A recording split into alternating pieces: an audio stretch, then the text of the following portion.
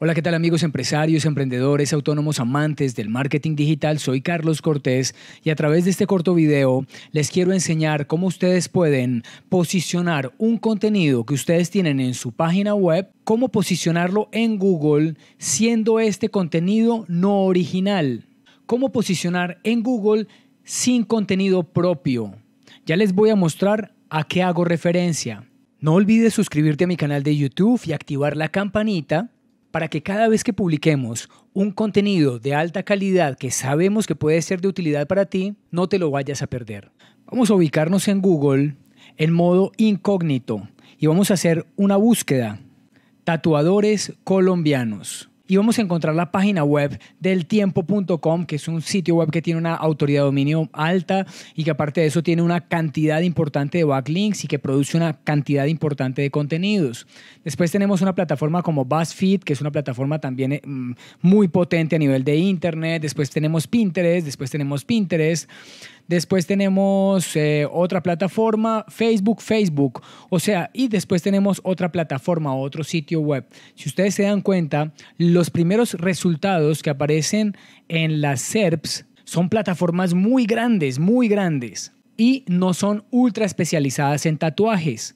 Nuestra búsqueda es tatuadores colombianos. Ahora, si pasamos a la segunda página, vamos a encontrar que estamos en la posición número 11. En el primer resultado de la página número 2 es nuestro contenido. Ahora, hace unos días estábamos en posición 50 y tanto y hemos venido creciendo en el tiempo. Pero lo más importante de este ejercicio, de este experimento de posicionamiento de motores de búsqueda que estamos haciendo, es que el contenido que tenemos en el sitio web no es original, no es un contenido propio. Y vamos a entrar a mirar a qué estoy haciendo referencia.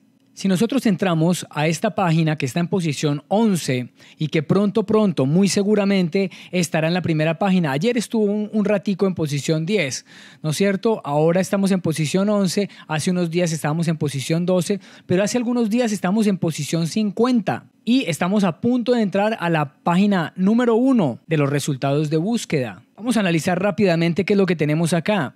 Acá tenemos un título H1, tenemos una descripción, la palabra clave que estamos posicionando acá es tatuadores colombianos. Si nos venimos para esta herramienta y hacemos la búsqueda de la palabra clave tatuadores colombianos, encontramos que el volumen de búsqueda no es muy grande. Obviamente ustedes saben y entienden que estos son valores aproximados. El volumen de búsqueda no es muy grande, 70 búsquedas al mes.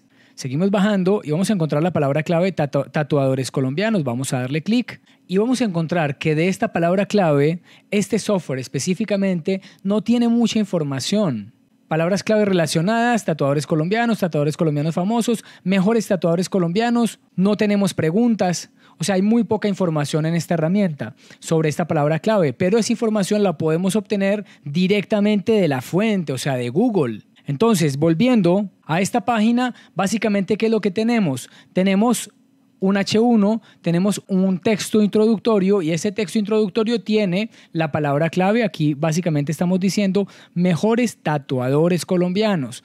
¿No es cierto? Tenemos unas imágenes que se montaron hace un momento. Esto todavía no está eh, teniendo ningún tipo de efecto en, en los resultados, pero estas imágenes están geoetiquetadas, están georreferenciadas. El nombre de las imágenes contiene la palabra clave o palabras claves complementarias y el texto alt incluye o la palabra clave o palabras claves complementarias. Tenemos un índice, ustedes saben que los índices son muy importantes porque generan enlaces internos en el sitio web ¿no es cierto? Específicamente en la misma página web. Eso hace los índices. Este índice es muy bueno, muy bueno. Yo venía utilizando otro, otra, otro componente o otro plugin de índice, pero lo cambié por este que es un bloque de Gutenberg porque es muy potente porque nos permite delimitar. Ahorita les voy a mostrar. Nos permite delimitar si nosotros queremos que el índice muestre los H1, H2, H3, H4, H5, H6, ¿no es cierto? O podemos escoger alguno de ellos para que los muestre entonces, en este caso, nosotros seleccionamos, si no estoy mal, los H3. Este es el índice de los tatuadores colombianos que hemos creado y aquí está cada uno de ellos, pero cuando vamos a cualquiera de ellos, vamos a hacer este ejercicio, Alejandro Ariza, básicamente tenemos el nombre de él como un H2, aquí tenemos un texto, esto es texto, ¿no es cierto? Donde, donde tenemos eh, la palabra clave tatuador colombiano y estamos diciendo de la ciudad, de donde proviene. Y lo que realmente tenemos acá es un iframe de Instagram. O sea, ¿qué fue lo que nosotros hicimos? Permítame un segundo. Lo que nosotros hicimos fue que tomamos esta imagen de la cuenta del tatuador, le dimos clic en los tres punticos, le dijimos insertar y nos dio este bloque de texto. Y este bloque de texto se lo insertamos en un bloque de Gutenberg dentro del sitio web. Ya les voy a mostrar un bloque de HTML. Literalmente, este contenido no es nuestro, este contenido no es original. De hecho, si evaluamos bien, hay muy poco contenido en esta página web propio. O sea, no, hemos escrito mucho, no hemos hecho mucho. Vamos a irnos al backend y vamos a ubicarnos aquí donde está Alejandro Ariza. ¿Qué es lo que tenemos acá? Tenemos un bloque un bloque Gutenberg que si no están utilizando el Page Builder Gutenberg y siguen utilizando Visual Composer o Elementor o cualquiera de esos, hay que cambiarse rápidamente acá porque es muy bueno y es muy potente para el posicionamiento de motores de búsqueda. Insertamos un, un bloque HTML y este código que nos entregaron acá, simplemente lo pegamos aquí, ¿no es cierto? De la misma forma lo hicimos y bueno, tenemos un botoncito con un enlace, pero realmente miren que esto es título, un textico muy pequeño y un HTML, un botoncito. Título, un texto muy pequeño, un HTML y un botoncito. O sea, realmente nosotros creamos una, una página dentro del sitio web para posicionar por una palabra clave con muy poco contenido y eso se fue optimizando con el tiempo. O sea, llevamos varios días trabajando en esto. Entonces, ¿qué cosas importantes hemos hecho? Préstenme atención acá, yo les muestro algo rápido. Miren, aquí tenemos el semáforo de, de Yoast. Ustedes saben que ese semáforo... Eh, comete ciertos errores, hay ciertos errores o ciertas recomendaciones a las que no hay que prestarle mucha atención, pero en términos generales son buenas recomendaciones. El semáforo nos está mostrando que lo tenemos a nivel SEO, casi todo lo tenemos en verde, ¿no es cierto? O en naranja a nivel SEO. Y tenemos algunas situaciones que tenemos que corregir a nivel de legibilidad, porque realmente acá nos está diciendo, por ejemplo, que tenemos una sección del sitio que tiene más de, más de 300 palabras.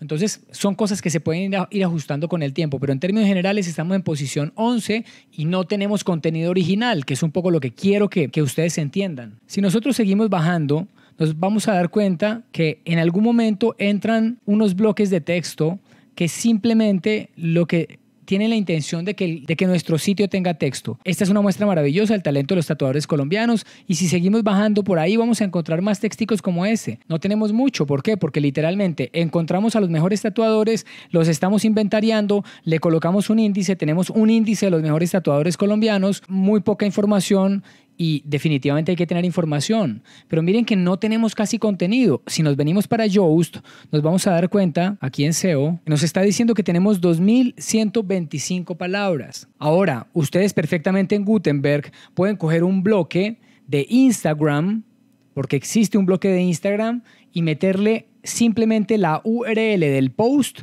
y él les trae el post. Pero ojo con esto, no cuenta las palabras que trae el post. O sea, los posts en Instagram tienen texto y ese texto lo está contando acá. Presten atención a esto. Este texto que está, que está aquí, o sea, la descripción que, que la persona pone, está entrando dentro del texto que cuenta Yoast y que cuenta para el posicionamiento. Entonces, si yo, por ejemplo, cogiera a estos tatuadores y les dijera, los estamos reseñando, en Creativos Latam, nos encantaría que nos dijera de su Instagram cuál imagen quiere que reseñemos, pero a esa imagen, por favor, colóquele dentro de la descripción la palabra clave tatuadores colombianos. Y literalmente la palabra clave estaría en la descripción, la insertamos la imagen a través del HTML y va a contar esa palabra clave. Al otro le podríamos decir que por favor la imagen tenga esta palabra, esta palabra dentro del texto, ¿no es cierto? Una palabra clave complementaria. Y de esa forma nosotros fortaleceríamos el SEO sin contenido propio. El otro ejercicio que se puede hacer es buscar dentro de Instagram las imágenes que tengan palabras claves que nos sirvan para el posicionamiento de esta página en Google. Aburrido, no tanto porque esto nos gusta mucho. Difícil tampoco, porque realmente es simplemente un ejercicio de investigación muy rápido y de inserción de un contenido y listo, ya tenemos una página. Es que esta página se montó muy rápido y está en posición 11, en posición 11 a punto de pasar a la primera página. ¿Qué más tenemos acá? Seguimos bajando, seguimos bajando, seguimos bajando y miren que no hay contenido original. Todos son los insertos de Instagram con un título que ponemos y con un textico muy pequeñito, pero son prácticamente los insertos y por eso es que colocamos estos bloquecitos de texto, ¿no es cierto? Que no molestan mucho a la vista, que literalmente eh, enfatizan en el tema de los tatuadores, pero que ayudan en el posicionamiento de motores de búsqueda. Pero miren, realmente, que esos son los textos que les estoy mostrando, que son unos insertos que tenemos allí porque no tenemos contenido, porque esto, esta es una técnica que puede ayudar para que ustedes posicionen páginas que no tienen contenido original. Si seguimos bajando, vamos a encontrar algo que hicimos que sí es contenido estructurado y básicamente son preguntas y respuestas. Si nosotros nos venimos para Google y buscamos tatuadores colombianos, vamos a encontrar aquí en la parte de abajo mejores tatuadores colombianos, mejores tatuadores de Colombia, los mejores tatuadores de Medellín, bueno, una serie de términos claves que la gente está utilizando para encontrar contenidos asociados con esta palabra clave. Si yo me vengo para acá y solamente le digo tatuadores, voy a encontrar otras palabras claves. ¿no es cierto?, que la gente está utilizando. Ahora, si utilizo el comodín al final, pues aquí tengo una serie de palabras claves que no tienen, algunas de ellas no tienen que ver con, con el contenido que estoy produciendo, y si se lo pongo al principio exactamente lo mismo. Entonces, si ustedes miran las preguntas y las respuestas que tenemos aquí en la parte de abajo, que están metidas en un acordeón para que básicamente no molesten mucho visualmente, eh, pero que sumen dentro del ejercicio de, optimización para SEO, pues vamos a encontrar cuáles son los mejores tatuadores de Colombia. Esa palabra clave la encontramos de la forma en que les estoy mostrando, ¿no es cierto? ¿Cuánto gana un tatuador profesional en Colombia? Y aquí está la respuesta. ¿Cuál fue el primer tatuador colombiano? Y aquí está la respuesta e incluso colocamos el link hacia la fuente porque es importante. ¿En dónde tatuarse en Colombia? Eh, ¿Cuál es el mejor tatuador de Bogotá? Realmente no es mucho contenido, pero este ejercicio, como les estoy diciendo, es un pequeño laboratorio, es un pequeño ejercicio, un pequeño experimento de posicionamiento de motores de búsqueda de SEO que estamos haciendo y que estoy haciendo con otras unidades de negocio de mi empresa, ¿no es cierto? Porque me gusta experimentar y porque esos experimentos los puedo traer aquí para que ustedes los puedan utilizar. Esto puede ser realmente útil para alguien. Ese alguien no tiene contenido, pero tiene la posibilidad de insertar, insertar desde Facebook, insertar desde Twitter, insertar desde Instagram ¿no es cierto? Y si lo hacen como les he mostrado, que es con la caja de HTML, les cuenta el texto y ese texto suma y esa suma les ayuda a pasar de la posición 50 y tanto, donde estábamos hace unos días, a la posición 11 a portas de llegar a la primera página cómo posicionar en Google sin contenido propio. Este es el ejercicio que yo quiero que ustedes entiendan y aprendan y que lo pongan en práctica y que si les funciona me digan ahí en el video de YouTube, hey Carlos, en un comentario, Carlos, me funcionó muy bien, pero yo lo mejoré, hice algo que usted no está haciendo y que conversemos sobre marketing, sobre branding, sobre posicionamiento de motores de búsqueda, SEO, sobre los amores que compartimos, esos amores que ustedes tienen y que yo también tengo. Nuevamente, hacemos la búsqueda en Google, tatuadores colombianos. En la primera página todavía no estamos apareciendo, estamos en la segunda página y aquí literalmente estamos en la posición 1 de la segunda página o en la posición 11. Y esto es maravilloso, porque por debajo de nosotros hay un montón de plataformas, un montón de plataformas que tienen autoridad de dominio muy, gran, muy alta, que tienen un montón de backlinks. Ahora, ¿quieren ver? Miren, solamente Bacánica está aquí debajo de nosotros y nosotros estamos aquí arriba. ¿Cuál es el domain score de nuestro sitio web? Un puntico sobre 100. Un puntico sobre 100. ¿Cuántos backlinks tiene este sitio web? Cuatro. Cuatro backlinks. Solamente cuatro backlinks. Vamos a tomar, por ejemplo, el sitio web que está justo antes de, nosotros. Vamos a mirar, vamos a mirar sus cifras. Claro, tampoco tiene un domain score maravilloso, siete punticos, eh, pero tiene un montón de backlinks. Tiene 72 mil backlinks. Nosotros estamos posicionando este contenido sin autoridad de dominio, sin backlinks. Y ojo con esto, sin contenido propio. O sea, no nos sentamos a producir contenido, sino que tomamos el contenido. Que no es muy bonito, sí, no es muy bonito, pero es un ejercicio, es un ejercicio, esto es un experimento, para que ustedes entiendan que también se puede hacer y que también funciona. No, no tienen que ponerse a inventar porque aquí los experimentos los estoy haciendo yo. El tiempo me lo estoy tomando yo para mostrárselo a ustedes. Lo pueden hacer, funciona. Cero puntos de autoridad de dominio, prácticamente cero backlinks sin contenido propio.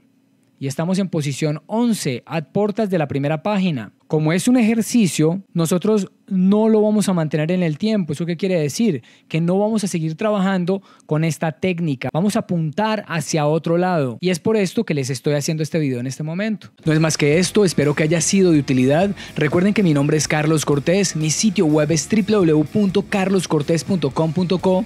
Los invito a suscribirse a mi canal de YouTube, me encuentran como Carlos Cortés Academy y no olviden activar la campanita para que cada que publiquemos un contenido que sabemos que es de utilidad les llegue una notificación y no se lo pierdan. Para los usuarios de Telegram, les informo que tenemos una comunidad en esta plataforma. Les dejo el enlace en la descripción del video para que se vinculen y conversemos por allí.